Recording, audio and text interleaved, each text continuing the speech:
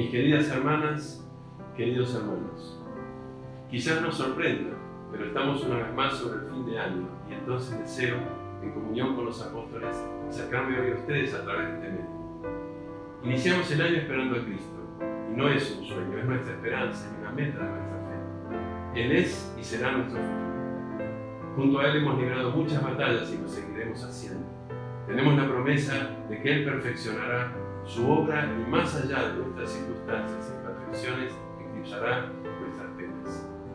Unidos a los apóstoles queremos empezarles nuestro renovado agradecimiento de corazón por toda la tarea realizada. Les deseamos que junto a sus seres amados vivan este tiempo navideño en paz y amor y que en el giro hacia el nuevo año siga siendo Cristo, su paz y su alegría el centro de nuestra vida.